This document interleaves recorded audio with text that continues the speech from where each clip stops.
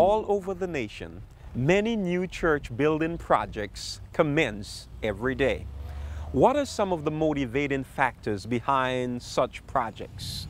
What is the pastor's role? What is the role of the congregation? To what extent do they get involved? Recently, I had the awesome privilege of speaking to Pastor Peter Bath, senior pastor of the Sligo Seventh day Adventist Church, about their recent church remodeling project.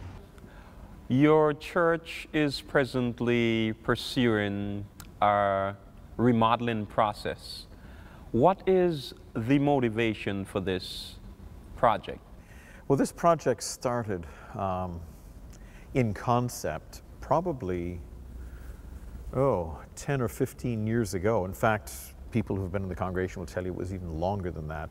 Sligo was built in a way that resulted in the front of the church being very dark and somewhat obscured by a lack of lighting, and it was a very difficult space for music and for celebration to, to occur, although many great services happened. But what really motivated this was the culmination of a couple of things. One, the desire to bring in light. And we are a people of the light. Jesus is the light of the world. And an opportunity to bring in a, natural illumination here and to create a space that was much more versatile than what had been established in the 1940s as really a very contemporary design. With the light coming in now, it's just great. You go to the front, it used to be very dark, and now we see the light coming in and gives a warm feeling for everybody else. I, I think it's a great, it was a great project.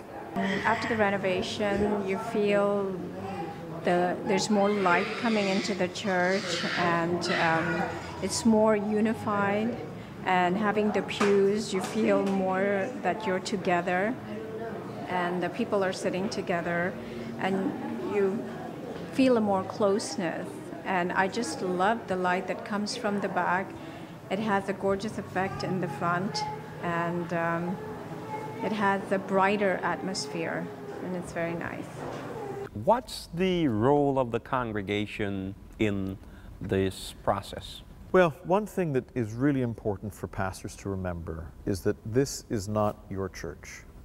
This is the people's church. They're going to be here long after you're gone. And it's important to help the people express their voice of what they would like. Now, that's oftentimes a challenge because there are different voices that are heard, sometimes louder than others. And so making sure there's a fair and an open process for discussion about what will we be doing with the front of the church? What will the design look like? What will the seating look like? What will the air conditioning be like?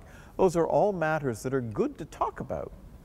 And so our process was one where there was a committee and uh, encouraging them to survey the church. And, you know, there were some starts that were sometimes awkward that we were making and not doing it quite right, but we began to get that in play.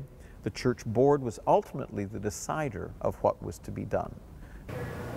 Well, it's, uh, it's growing on me more and more. It's very nice, very beautiful looking, and some things I'm not quite sure uh, the intent, but uh, overall it's a, it's a, very nice improvement. Uh, seats are comfortable, which I was concerned about at one point. What would be your final words on the project? I guess to people, and you told me that you're going to be about building um, in the near future, is to be very clear about why you're doing the project, what it is you're trying to do, and then how you're going to go about doing it. How you'll make your decisions, how you'll make the money, that whole communication package. And you give updates to the members, you mail to them, you tell them, you encourage them you let them be involved as best they can because everybody wants to do something. And that's where the lay leaders, this is their church. You can be the coach, they have to be the players. Remember, do you watch football? Yeah. No, this is American football, not the, football. not the soccer, the good kind. The coach's job is to stay where? On the sideline. On the sideline. If the coach comes out and plays quarterback, he's no longer a coach. The pastor's job is not to get on the field and do the playing for the church. It's to help the church do the playing and build it for themselves. That makes a stronger church, a healthier pastor, and it glorifies the Lord.